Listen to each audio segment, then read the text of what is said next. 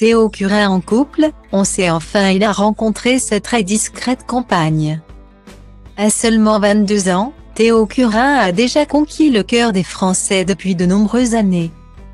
Le jeune homme est un athlète hors norme, capable de performances incroyables sous l'eau et n'hésite pas à relever de nouveaux défis chaque semaine. Après avoir été en couple pendant quelque temps avec une certaine Eugénie, il partage sa vie avec une nouvelle jeune femme depuis plusieurs mois maintenant. C'est début août qu'il a officialisé leur romance en partageant quelques photos de leur journée à deux dans un célèbre parc d'attractions. Depuis, tout se passe pour le mieux entre les deux tourtereaux, qui passent de bons moments ensemble. Malgré l'emploi du temps très chargé du beau gosse. Ce 13 décembre, Libération fait le portrait de Théo Curin et évoque notamment cette nouvelle romance.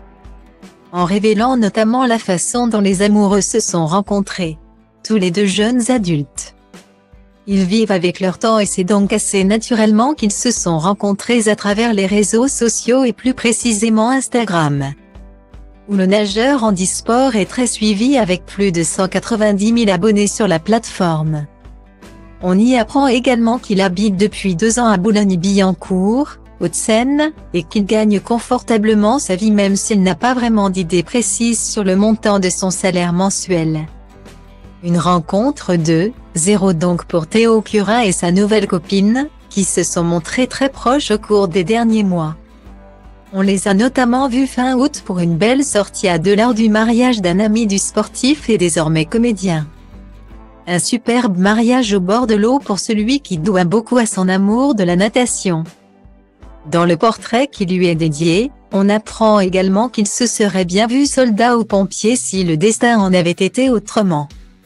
Amputé à seulement 6 ans de ses quatre membres à cause d'une méningite bactérienne fulgurante avec purpura fulminant.